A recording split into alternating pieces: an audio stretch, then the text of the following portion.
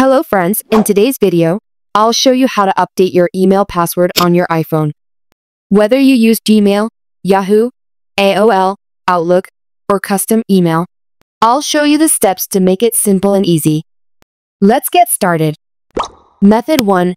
For free email services like Gmail, Yahoo, AOL, Outlook, and other.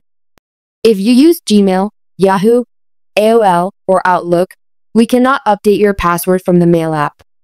To do so, you must visit their official website and change and set a new password.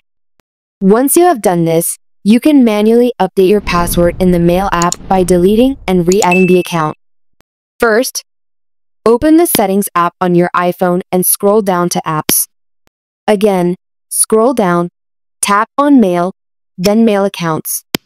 Select the account and choose the email account you want to update. Then tap on it and tap Delete Account. Now, go back to the Accounts section and tap Add Account.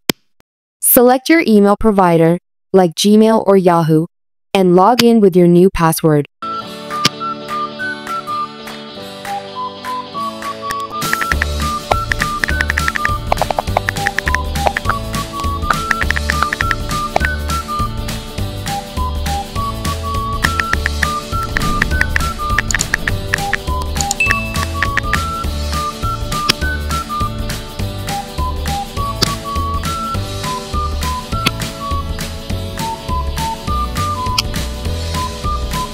Once done, open the Mail app to make sure everything is working.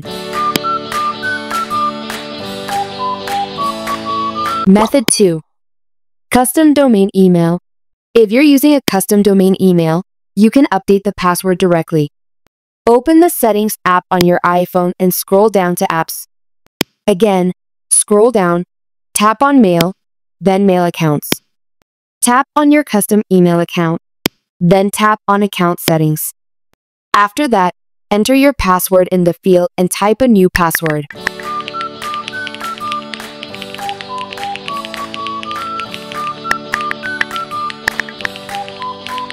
Tap on Done to save the changes.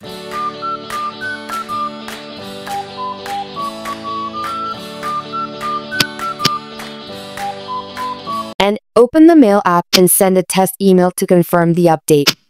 If it works, your new password is set up correctly. And that's it. Whether you're re-adding an account or updating a custom email password, it's quick and easy.